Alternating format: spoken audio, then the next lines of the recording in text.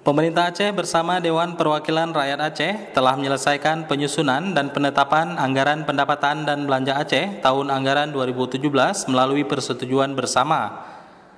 APBA tahun 2017 ditetapkan sebesar 14,7 triliun atau meningkat sebesar 14,43 persen dari APBA tahun 2016.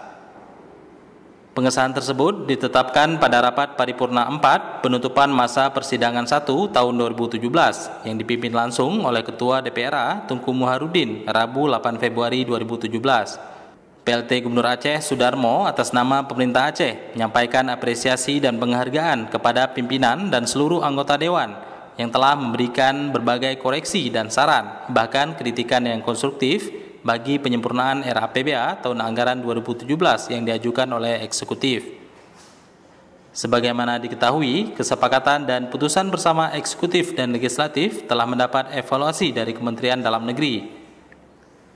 Sudarmo juga mengingatkan para kepala dan seluruh unsur SKPA untuk bekerja secara optimal dalam proses penyelenggaraan pemerintahan umum dan pembangunan Aceh secara tepat sasaran dan tepat guna.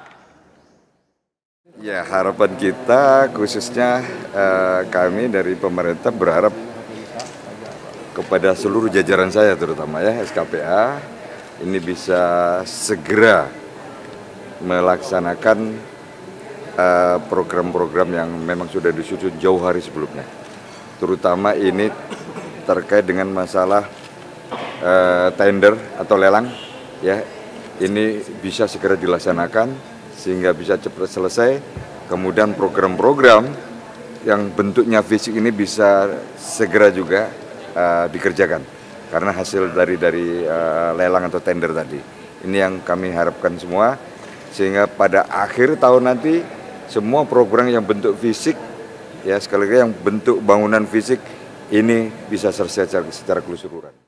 Saya banyak kesan yang saya dapat selama di di, di Aceh ini tentunya pesan-pesan mungkin yang positif yang lebih banyak saya dapat ya karena apa dengan pengalaman saya di sini saya lebih paham terhadap bagaimana kita bermasyarakat berbangsa dan bernegara.